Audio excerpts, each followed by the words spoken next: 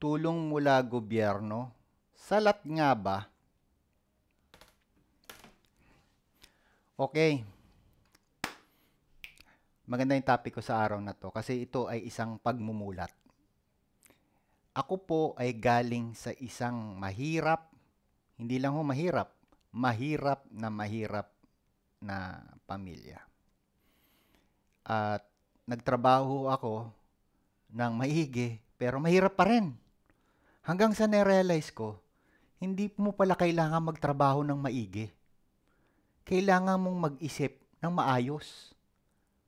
At kailangan mo ng standard para magkaroon ka ng maginhawang buhay. Masagana, maginhawang buhay. Hindi sa pagtatrabaho ng overtime ng overtime hanggang 12 to 16 hours na nagtatrabaho, hindi ka yayaman pag ganun. Hindi. At pagtatrabaho mo, ang pinagmamalaki mo, malaki, malakas ka, malakas ka, marami kang connection, hindi ganun. Hindi ka yayaman sa ganun. Okay? Corruption yun eh. Now, ang sekreto para makaahon sa kahirapan, hindi ko sinasabing yayaman ka. Ang sinasabi ko, gusto kitang iahon. Kasi nasa putik ka eh. Nasa loob ka ng putikan gandito yung putik. So, kailangan kitang ihaahon. Hindi kita pwedeng bigyan ng pera o eto na oh, para ma- mawala ka na dyan sa kaputikan mo. Hindi ganun. Tuturuan kita na maiahon mo yung sarili mo sa pamamagitan ng bidyong ito.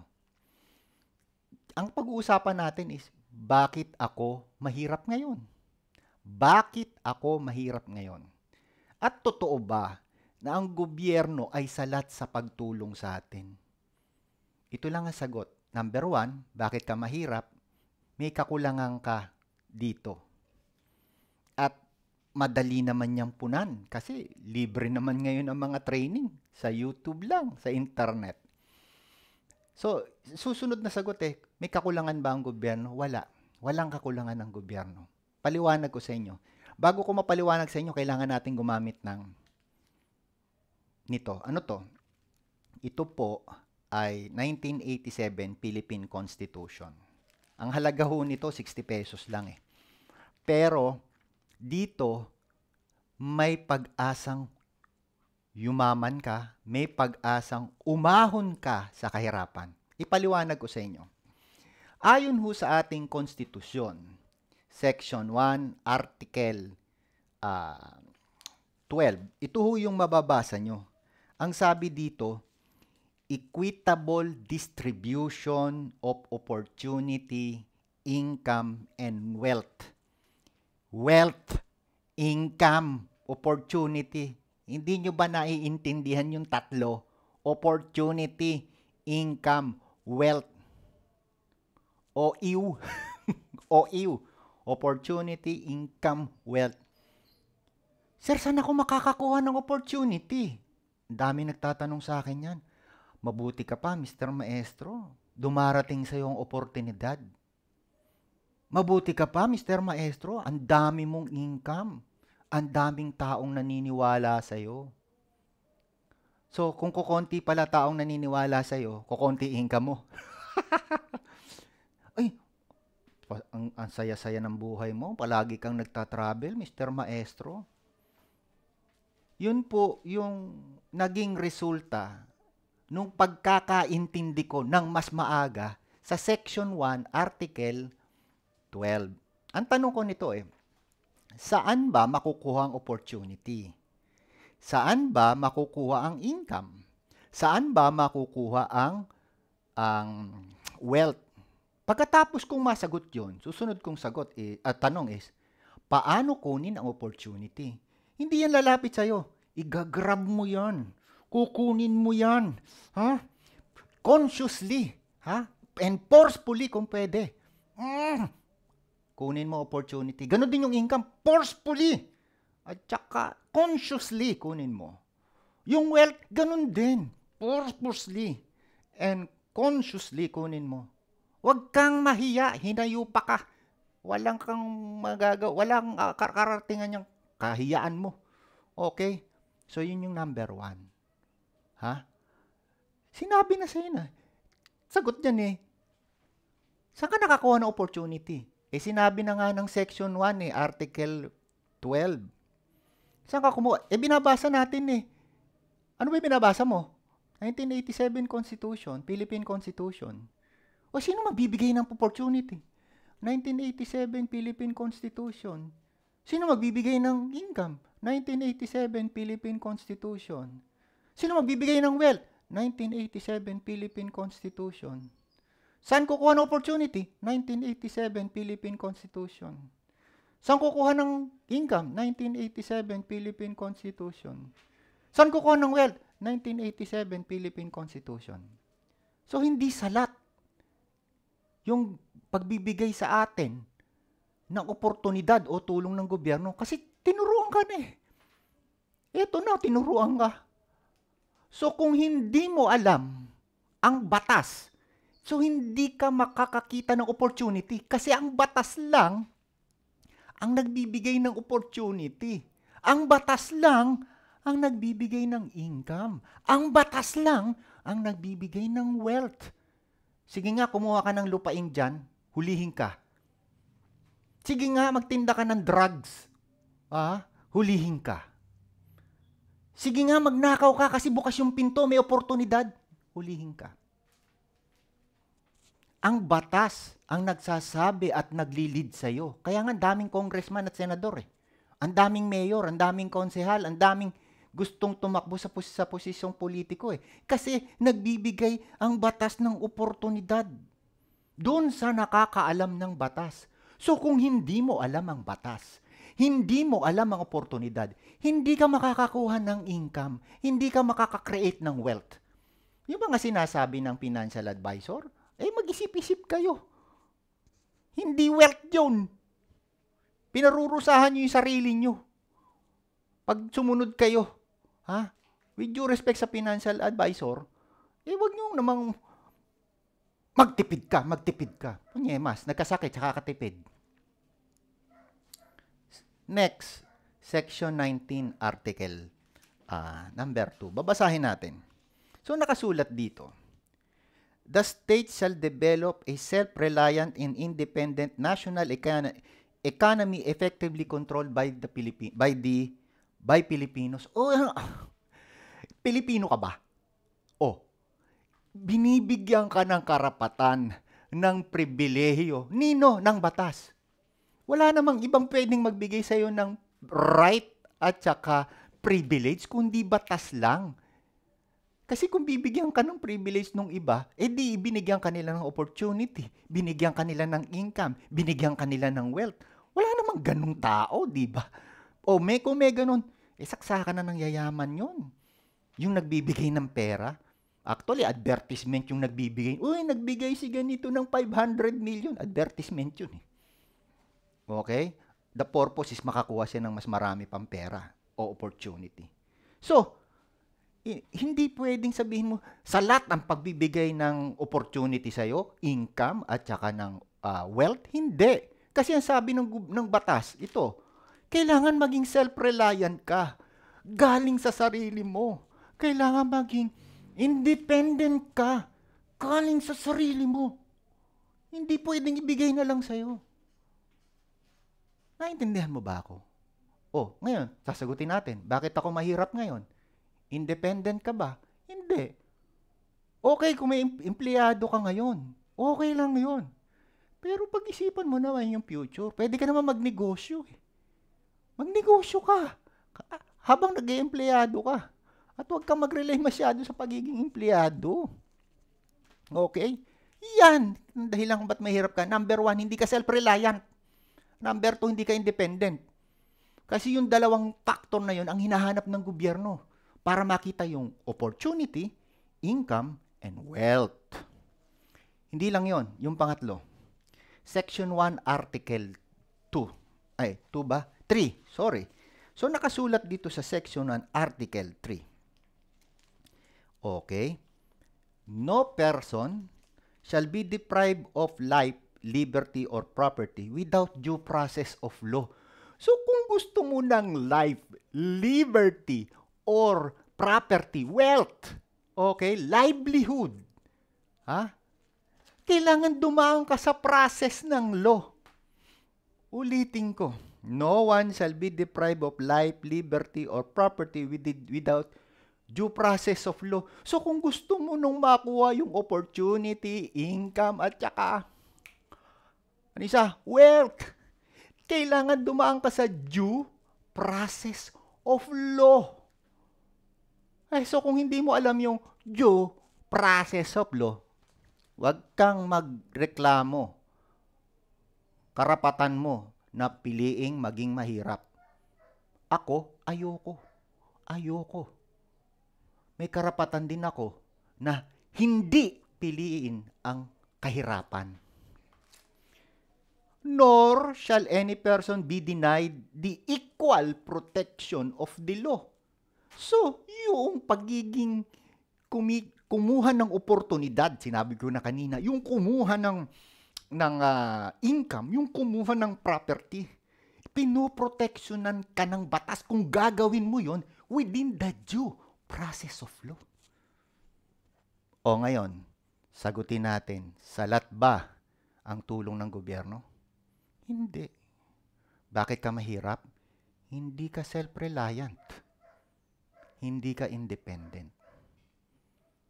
So ang nobuod na sinasabi mo, Mr. Maestro, hindi ako galit gusto kong magising na ang Pilipino. Magnegosyo kayo. Kahit maliit, magumpisa kayo ng negosyo. Para sa mga accountant, bookkeepers at consultant. At kahit sinong tao. Kasi pwede naman lahat ng tao kahit walang experience o may experience, with or without experience, pwede pong maging tax specialista. Sumama po kayo sa akin, mag-enroll kayo, tuturuan ko kayo maging tax specialista at pagkatapos niyan ay ibebenta ko kayo as a product. Hindi kayo magbebenta ng product. Magbebenta kayo ng services at kayo ang mismong produkto. So, ilagay nyo lang dyan, i-comment nyo, i-comment sa ibaba, yung name, mobile, at saka email address nyo para sa susunod kong video, mabigyan ko kayo ng iba pang tip at sa susunod kong seminar, ma-inform ko kayo. Okay? Hanggang sa muli! Ito po ang inyong katax Emelino T. Maestro.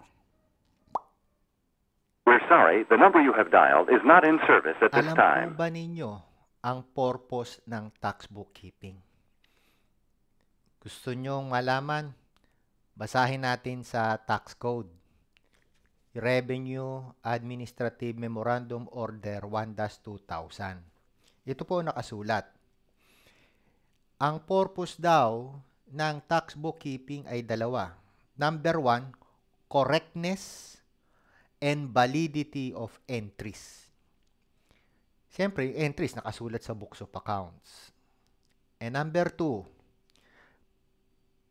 propriety of application of the tax laws. Ibig sabihin, correctness uli tama at angkop na pag-apply ng batas sa entries. Actually po, marami nagtatanong sa akin kung paano ko sila makakaguha nito. The books of entries, puro po ito entries. 292 sections. Eh, pinilit ko pong gawa ng entries.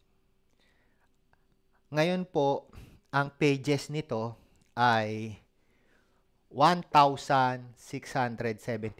Yung pong the books of original entries. Hindi original. Kasama dyan yung final and transitional. Tatlong entries kasi sa taxation. Now, now, ang tanong sa akin, sir, paano ba, ano ba laman ng librong yan bago namin bilhin sa'yo? Simple lang. Ang laman ng librong yan, katulad ng itinuro ko sa inyo sa mga previous lecture ko o video, ito po, consent, concern, compensation, at contracting parties. Para higit po ninyong maintindihan, minabuti ko po na uh, ipakita sa inyo through flowchart. Letter T means hindi ho tax, transaction.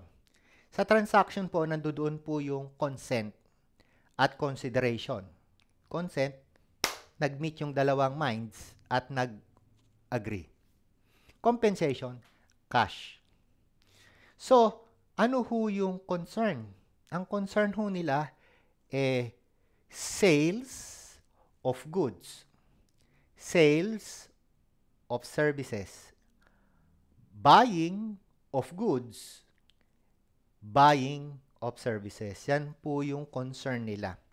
So, sino man sir yung contracting parties? Pagdating po sa batas, hinati po yung, tat, yung uh, contracting parties.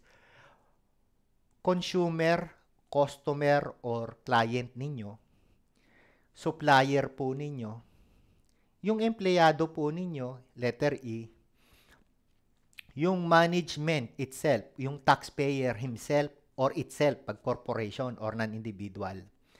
At yung pong uh, investor, yung government po, kasama ho yan sa equation. At saka, ah, hindi pala, creditor pala, creditor, yung CR dito, at yung G, GT is government. So, ito pong librong to, ang laman po nito ay transaction ng pitong klase ng tao na nagkaroon po kayo ng relationship.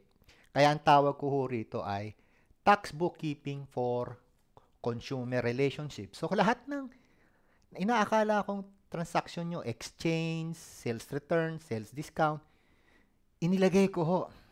Kaya umabot po ng 1,675 pages available na po siya. Sorry. so, sir, kailangan namin makukuha at magkano. Okay. Ito po yung deal.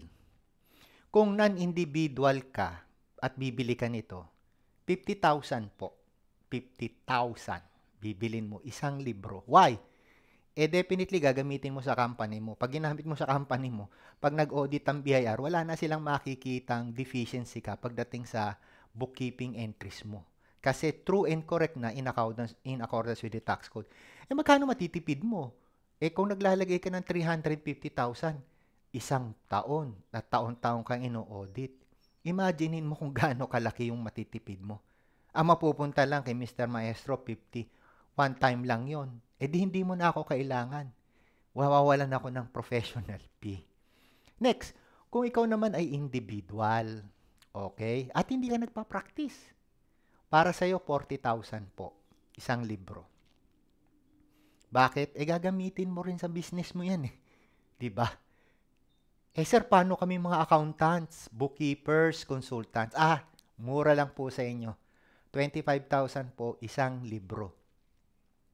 Ngayon po ang deal ko sa inyo kasi gusto ko kayong maging partner. At na-accept ako ng partner eh. At hindi lang basta partner. Ima-market ko kayo as if you are a precious, uh, scare, uh, no? Anong tawag nun? Scarce product.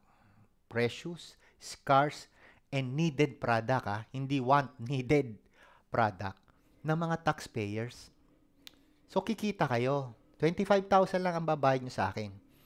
So, limited lang ho yung tuturuan ko ngayong February. So, limampu lang po yung kukunin ko ngayong February. Ano mangyayari? Itong limampung ito, alam naman natin, ang mga libro ngayon ng mga taxpayers, walang laman eh. So, meron silang kagad hanap buhay. So, itong limampung ito, uh, 25,000 kung kukunin ko dyan. Tapos, meron ho akong study now, pay ETM later. Pipirma sila ng kontrata. Pag kumita na ho sila, tsaka nila ako babayaran in a piecemeal basis, hindi naman bigla. So kung ikaw, nanonood ka niya, nasawan-sawa ka na sa graft and corruption, sawan-sawa ka na sa paglalagay ng 350,000 o minsan umaabot ng milyon, ito na po yung solusyon. 1,675 pages. Kung ikaw naman individual at nagnenegosyo ka rin, oh, matakatipid ka kasi 40,000 lang. At yung mga accountants, bookkeepers at consultants, ay nako, sinisure ko sa inyo, hindi kayo maargabyado pagdating ng audit ng BIR. Paano kayo makakakuha? Sa baba nito, no, may comment. Ilagay nyo lang yung email address nyo at saka mobile number at tatawagan kayo kung kayo ay napili ko. Limampu lang po sila. So, mag-start na tayo. Pag dumakatapos ako ng 50, maka-accept ako ng 50, tuloy na ho yung training. Sir, saan ang training? Sa University of the Philippine Campus. Okay? Ah, yun lang pong kakainin ninyo. Yun lang yung babayaran nyo.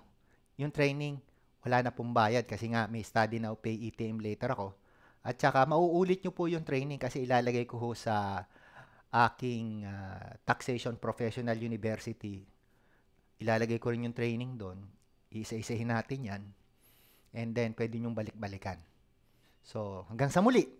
Abangan nyo po yung susunod kong video at panoorin nyo ha. Paki-share na rin ito. Salamat.